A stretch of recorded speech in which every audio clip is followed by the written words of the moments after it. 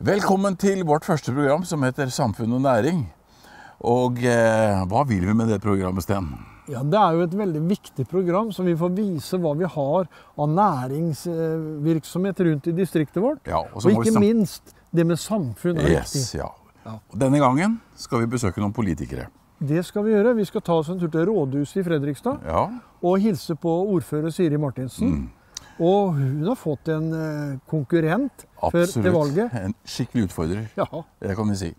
Og så skal vi ta en tur på et, et firma denne gangen her som heter Energiverket. Der snakka du med en kar. Der snakka jeg med en kar.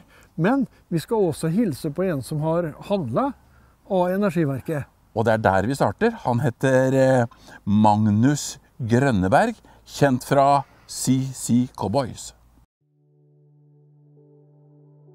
Magnus Grønneberg er musiker og sanger, kjent fra bandet CC Cowboys. Han og kona kjøpte seg et stort og fasjonabelt hus ved Cicignon i Fredrikstad. Dette er et gammelt hus, bygd i 1932. Huset har siden den gang vært gjennom flere oppgraderinger og moderniseringer. Men tiden var igjen inne for et nytt løft. Det var, vi, Før hadde vi sånn Fredrikstad fjernvarme. Eh, og det så vi jo kostnaden på det var jo liksom veldig dyrt. Ja. Så snakka jeg med noen andre rundt, og da fant jeg ut at det egentlig egner seg best til hvor det er flere leiligheter, komplekser. Hvor man på en måte, Jeg satt jo med hele regninga alene. på en måte. Ja. Der starta det for vår del. ja. Og det har eh, det, det har fungert veldig bra, både kostnadsmessig og, og brukervennlig. Magnus hadde ingen naturlige forbindelser til firma som driver med oppvarming av hus, så han gikk den veien de fleste går i dag, via nettet. Så blir vi bare nysgjerrig på det. Det er grønne løsninger. Det er, handler om å spare energi. Og så for eksempel, Der dukka dere opp. Ja. Og så ringte vi, og så kom du. Og så var det egentlig du og dere som fortalte oss hva det går i. øh, Hva det som kanskje vi kan gjøre her, hva som lønner seg. Legge fram alternativer. Så jeg føler at vi bare har mange råd og tips som jeg føler at vi har fulgt. Som vi har fått fra dere, liksom. ja. Magnus lyttet til Energiverkets råd og valgte forskjellige løsninger i første og andre etasje. I annen etasje så har vi jo ikke varmekabler. Eller vann, vannbåren varme i gulvene. Nei. Så der må vi jo ha en eller annen Ja, ja. Så det tror jeg vi kan vil satse litt mer på. Fordi at eh, disse gamle radiatorene våre Det er sånn gammel, sånn tungt gods. Veldig fine er de Ja, veldig flotte Ja, de er det. Det er sånn tynne, pinglete Det er sånn De gir veldig fin varme. Ja, Veldig fin varme. De jobber rolig og fint. Så de har vi tenkt å bevare ja. i, eh, i, på veggene. Mm. Uh, og, og gulvvarme da nede. Når du valgte å gjøre en slik løsning, var det pga. miljø? Var det pga. at du reduserer kostnaden betraktelig? Eller hva tenkte dere før dere øh, på en måte tok avgjørelsen? Det er helt klart en kombinasjon, tenker jeg. Ja. at øh, vi må bli grønnere, og du og jeg som er midt i livet, liksom, vi må også bli flinkere til å tenke sånne ting. Vi må kjøpe elbil, og vi må gjenbruke mer, og vi må ikke kaste så mye mat osv. osv. Og en del av den pakka er jo huset. hvor vi, vi Det er jo liksom en fabrikk. da, Der bor vi og lever og arbeider og, og, og, og tilbringer veldig mye tid. Jeg jobber hjemme. øh, veldig mye hjemme, da. Ja. Og kona mi har vært veldig mye på hjemmekontor. ikke sant? Og å investere i dette hjemmet er viktig. Og så kan man sitte der og se på krona. Det er kanskje ikke så interessant, men klart at det, jeg, jeg tror kanskje ikke det jeg får igjen for disse investeringene i mitt liv, eh, så lenge jeg eier den kåken. Men det er ikke så interessant. Det interessante er Der kommer det grønne igjen, da. Og jeg tror at de guttene og jentene som skal kjøpe dette huset om 10-20 år, kommer til å være enda mer bevisste enn det du og jeg er, liksom. Eller hva vi har vokst opp og lært og oppdratt til. Så jeg, jeg, jeg er litt stolt av det. Men du kan si det dere har gjort med energiløsningen er jo veldig bra for miljøet. Eh, dere reduserer jo eh, CO2-utslippet med tilsvarende fem til åtte biler årlig, så det er jo betydelig. Magnus og kona har gjort mye for å oppgradere huset, og en av de store beslutningene var bruken av energi. et anlegg fungerer som det skal, så skal du si at du reduserer forbruket ditt med, av total strømregning Mm. med ca. halvparten. Så du halverer energiforbruket ditt. Så i utgangspunktet så bør det være en god investering, så du får inn pengene dine Mm. eh, vanligvis fra fem til åtte år er normalt. Det er såpass, ja. Ja, så det er en veldig god investering økonomisk. Og nå har jeg lyst til å prøve å se om jeg kan få noen solfangere, solpanel på taket. Vi har et veldig godt sånt øh, sydvendt øh, takflate. Så jeg, jeg tenker at øh, vi må gjøre vårt.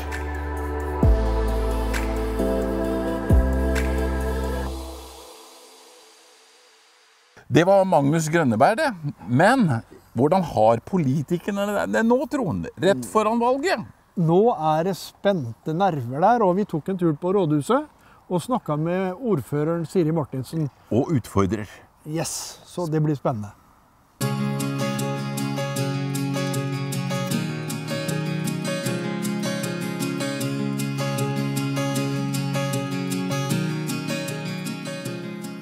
Ja, vi nærmer oss nå kommunevalget, og i dag har vi tatt turen til rådhuset i Fredrikstad. Og her har jeg to spesielle gjester. To ordførerkandidater, faktisk. Så jeg kan spørre først deg, Siri, som er ordfører. Hva er forskjellen på kommunevalg og stortingsvalg, f.eks.? Ja, Det er egentlig veldig stor forskjell på det. fordi det er jo i, folk, det er jo i kommunene folk bor. Det er jo her eh, innbyggerne får de beste tjenestene. Det er her de går rundt i byen, og det er her de lever i lokalsamfunnet. og Det er her de får helsehjelp og skolegang. Og... Så jeg mener jo at lokalpolitikken er veldig viktig. Og veldig gøy. Og det regner jeg med du, Bjørnar, også mener. Kan du legge til noe av det Siri sier? Jeg kan si at uh, jeg er jo så heldig at jeg også er første vara til Stortinget. Og det er, veldig, det er en ganske stor forskjell på å være i stortingssalen og de sakene som eh, debatteres der, i forhold til den hverdagen vi diskuterer her i, i byen. For her er, vi, her er vi nede på byggesaksnivå og på hverdagen til folk-nivå. Eh, Så det er klart at lokalpolitikken er jo nå skal jeg være litt stygg, det er jo det viktigste. Absolutt viktigste for innbyggere i hele landet. Og mm, i Fredrikstad så har vi mange gode politikere, hvor jeg oppfordrer selvfølgelig alle til å gi sin stemme til meg som eh, ny ordfører. Det skal vi snakke litt om Det senere. kan vi godt gjøre. Ja. det skal vi gjøre. Men vi kan begynne med deg, Siri. Siri Martinsen. Hvem er Siri Martinsen? Kan du si litt om det? Ja, jeg er fra Torsnes, da. Eh, Fra Tasse. Fra Tasse, sier vi der ute. Eh, ellers så er jeg jo veldig engasjert og veldig rotfesta her i Fredrikstad. Jeg er veldig glad i byen min, og jeg er veldig engasjert. Eh, og jeg er veldig glad i å møte folk. Eh, hva gjør egentlig du til hverdagen som ordfører? Mm, da gjør jeg veldig mye forskjellige ting. Det er jo selvfølgelig mye representasjon. Og det er jo leder og mye bystyre og formannskap og mm, ja, leder eh, viktige prosesser. Eh, men først og fremst så jobber man jo med saker for utvikling av byen og utviklingen av våre tjenester. Og ikke minst det med å skape flertall da, for viktige, viktige tiltak i Fredrikstad. Og utvikle Fredrikstad som by og et godt sted å bo og leve. Og Bjørnar, Bjørnar Låbakk, hvem er egentlig Bjørnar? Ja. Jeg har familie som kommer fra Hvaler, først og fremst, og flytta til byen da jeg var liten gutt. Eh, Jeg bor eh, i Falkåsen, er på vei til å flytte til Rollsøy, men fortsatt i byen. Fortsatt så skal jeg bo her og jobbe med politikk en stund til.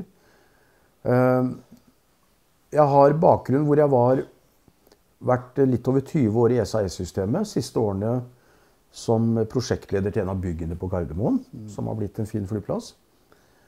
Og har vært økonomisjef der oppe i noen år, og også for stasjonene våre rundt i landet på cargosiden.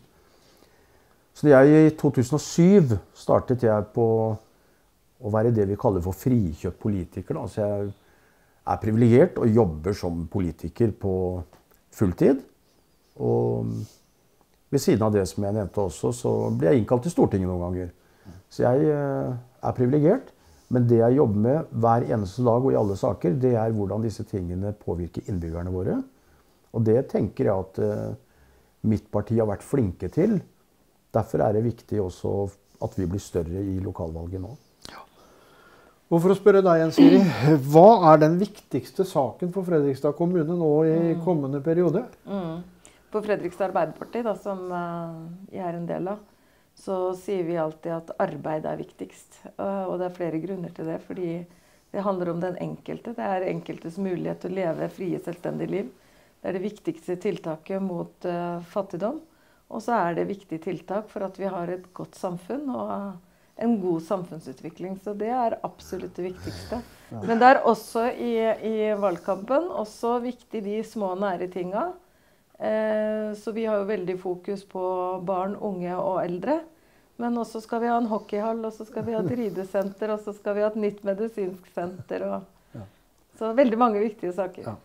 Da kan jeg spørre deg, Bjørnar. Hva er for deg og dere den viktigste saken i kommende periode?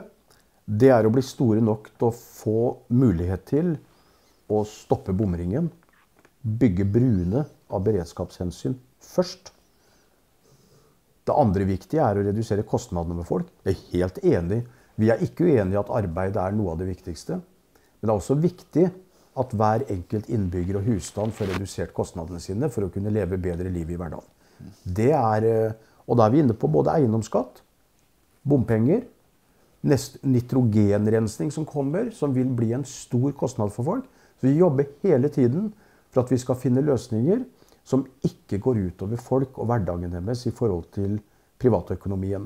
Og det tror jeg vi er, vi er Jeg tenker at vi Det er for få som er opptatt av det. Og, men det er vi. Og det kommer vi til å være også inn i neste periode. Ja. Eh, For å spørre deg igjen, Siri. Eh, Arbeiderpartiet har jo ikke gjort det så veldig bra på meningsmålinger i det siste. Påvirker det dere i kommunepolitikken eh, noe særlig? Ja, det er klart det gjør det. Det ser vi liksom over hele landet, og det ser vi over hele linja. Eh, og det har også vært krevende i Fredrikstad, fordi det er krevende å styre i krevende tider. Eh, for Fredrikstad kommune så er det jo også det at vi ser jo at eh, innbyggere her eh, lever i en dyrtid, tid, hvor priser går oppover. Det gjelder også kommunen. Vi fikk eh, f.eks. en strømregning på 80 millioner over det som var forventa. Eh, så vi må også eh, gjøre riktige og viktige tiltak. Og det er ikke noe tvil om det. Som politiker så kommer du inn i politikken med et engasjement for å utvikle. Og så kommer du i en situasjon hvor du må prioritere strengt. Og det har jeg veldig forståelse for. Eh, men eh, det er vårt ansvar, så Ja. det må vi ta. Ja. Eh, For å spørre litt videre. Hva er du mest fornøyd med i den perioden som vi er, er ferdig med nå? Ja, nå har jeg vært ordfører snaue to år, da. Ja. Og jeg syns vi har fått til mye bra i de to åra. Jeg har bl.a. invitert Bjørnar til å være med på et VTA-utvalg, som jeg har jobba veldig bra med. Eh, vi har fått til hotell i, i Kaserna. Vi har økt hotellkapasiteten bortover i gågata her. Eh, og så er jeg og Bjørnar uenig i det, da, men vi har fått til tidenes samferdselsinvesteringer på over 9 milliarder. Det gjør at vi kan ha bedre busstilbud, det gjør at vi kan ha gratis og flere ferger. Så det er veldig mye store ting som Også sånne små ting, da, ikke sant. Vi har fått til Kattis hus, vi har, vi har satsa mer på frivillighet enn noen gang. Eh, så det gjøres veldig mye viktige ting. Og da vil jeg spørre deg, Bjørnar. Hva er du mest misfornøyd med i perioden som har gått? Ja, jeg, jeg pleier ikke å gå og være misfornøyd, men, men jeg er veldig godt fornøyd til nettopp det som eh, Siri nevner, at, vi, at det ble nedsatt et arbeidsutvalg som så på hvordan vi kan utvikle og utvide antall, eh, antall varig tilrettelagte arbeidsplasser i Fredrikstad. Vi har Viuno og Fasfo, for å nevne to, som er blant landets beste når det gjelder innbyggere som har behov for tilrettelagt arbeid. Det er lønnsomme bedrifter, og vi har all grunn til å være stolte av de. Og det har vært et enstemmig bystyre. Det vært et kjempefint prosjekt som har gått over et år. Og jeg tror eh, det er verdt å lese de vedtakene som bystyret har gjort. Og det lover godt for fremtiden. Det er også fanger en stor gruppe som ellers ikke ville være i ordinært arbeid. Eh, noe annet som jeg kan si jeg er fornøyd med, det er jo utviklingen. Altså Fredrikstads utvikling generelt sett. Vi har vel vært i stor grad, for å være litt enige også Vi er jo enige om utviklingen i forhold til utbygging på verksted. Vi kommer til å være enige i stor grad i arena, videregående skole og de tingene, som jo er både lokale ting og sentrale ting. Eh, det jeg er veldig misfornøyd med, det er at eh, bystyret med Arbeiderpartiet i spissen nå legger 9 milliarder i gjeld til bilistene i Fredrikstad-Sarpsborg. Det mener jeg er ganske alvorlig, for det bygges ut noe som bilistene ikke har behov for. Vi kan få bedre fremkommelighet for kollektiv uten å ha 9 milliarder i gjeld. Så det er jeg særdeles misfornøyd med på vegne av innbyggerne. Og jeg er veldig misfornøyd med, over på det sentrale igjen, at Miljødepartementet ikke er med på å dekke kostnaden for nitrogenrensning, som skal investeres med langt over 2 milliarder i vår by. Alvorlig situasjon for innbyggerne når disse kostnadene kommer etter hvert. Og de kommer fort. Og de kommer i neste valgperiode.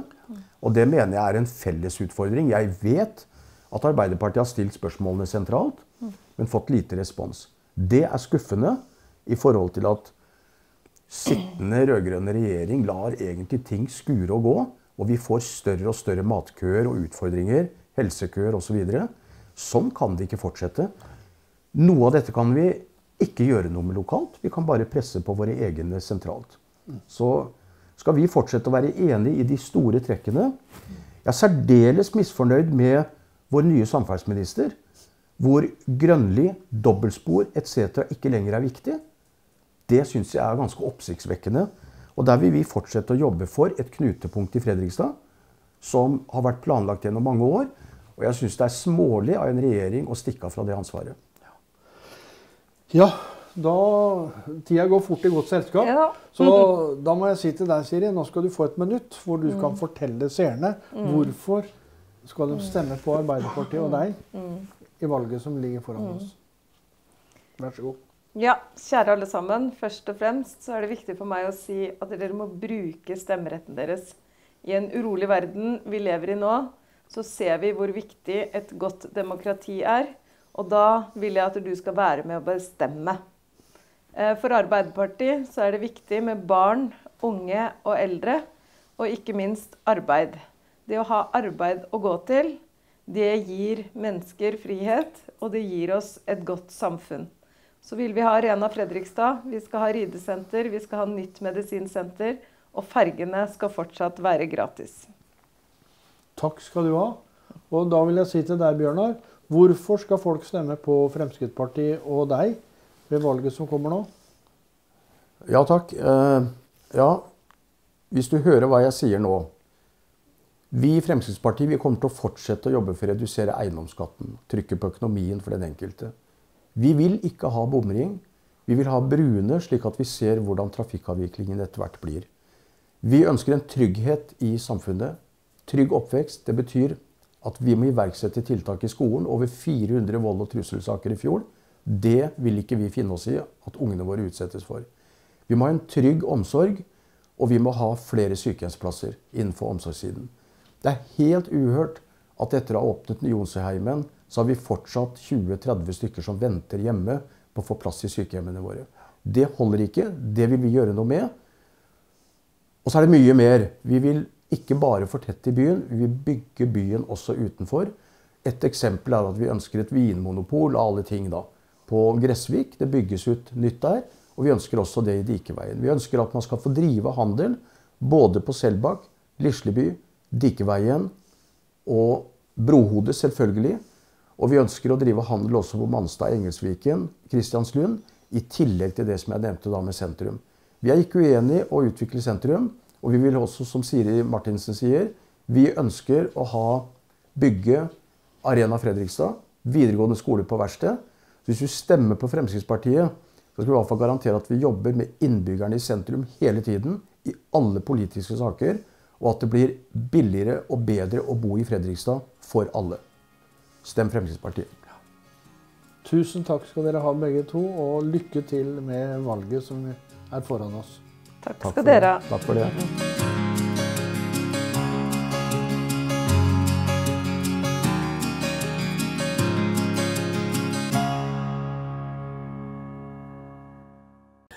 Ja, sånn er det for politikere som skal eh, er spent på resultatet. Ja. Men vi har uh, snakka om Magnus Grønneberg i stad. Nå skal vi ta en tur til Energiverket. Og høre litt hva det dreier seg om. Jeg sitter nå her med brosjyre som det står 'Valgte solfangere og varmesentralen for fremtiden'. Det er fra Energiverket. Og jeg sitter her sammen med deg, Tore. Du er salgssjef i Energiverket. Hva er egentlig det? Eh, Energiverket er en, eh, en rørleggerbedrift som har spesialisert seg på, på varme til eh, boliger og næringsbygg. Og da primært da bergvarme og luftevann og avtrekksvarmepumper som, som produserer varme og varmt vann. Hva er det vanligste folk spør om når det gjelder varmepumper i dag? Ja, det er jo hvor mye kan jeg spare på å installere. Eh, og varmepumper det er, jo, eh, det er jo et vidt begrep. Eh, mange, når man tenker på varmepumper, så tenker man ofte på sånne luft-til-luft-varmepumper. Og det er jo små enheter som varmer opp ett eller flere rom. Mens de varmepumpene som vi holder på med, er primært da eh, vannbåren varme varmepumper. Ja. Som lager varmt vann. Ja. Da er det f.eks. vannbåren gullvarme, eller det kan være vannbårne radiatorer, eller viftekonvektorer, eller til ventilasjon i næringsbygg, sånn som vi sitter i her nå. Ja, vel.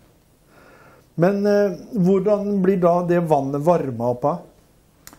Det varmes opp av, eh, av en kompressor som henter energien fra, enten fra bakken eller fra lufta. Akkurat. Eh, hvorfor vil du anbefale meg som huseier om å skaffe meg det? Det er primært for å, for å spare penger, da. Det er jo eh, kanskje det første eller beste fortrinnet her. Og så er det komfort, da. Har man eh, varmepumpe, så, så sparer man ikke så mye på, på komforten. Da fyrer man på.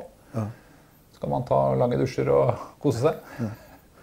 Eh, ja, men hvordan kan jeg få vite hva er jeg trenger? For det er så mye på markedet, så du kan bli helt forvirra. Ja, da kan man be om å få en befaring av sånne som oss, eh, som kommer hjem og ser på, på boligen eller næringsbygget og ser ok, hva er, vi, hva er det vi har å jobbe med her. Og da ser vi ganske raskt hva, hva behovet er. Eh, og da kan vi sy sammen et opplegg som passer bra. Men på brosjyra di her så står det 'solfangere'. Eh, Det var litt, litt fremmed for meg. Jeg har hørt om solcellepaneler og sånn, men er det det samme, eller? Ja, Det er en slags avart, men da, da er det ikke strøm i panelene, da er det varmt vann. Så Da går det rør fram og tilbake i panelene som, eh, som går i loop ned til en tank. Så får man varmt tappevann eller varme derfra. Og det, det er en veldig fin, eh, et fint supplement da, til en varmepumpe. Men på vinteren så er det jo som med, med solcellepaneler som lager strøm, at da er sola lav og, og har ikke nok effekt til å kunne varme verken vannet eller boligen nok. Så du må ha det i tillegg til noe annet. Ja. Gjerne da en bergvarme eller luftevann. Da. I en vanlig tre-fire roms leilighet, hvor mye kan jeg spare? En vanlig, et vanlig hus, da, en, en vanlig enebolig på 200 kvadratmeter, så sparer man 20 000-60 000 kroner i året. Å, kjære. Da vet jo jeg hva jeg skal gjøre. Men hvem skal jeg henvende meg til? Til dere? Ja, Da kan man ringe sånn som oss og, og be om en befaring.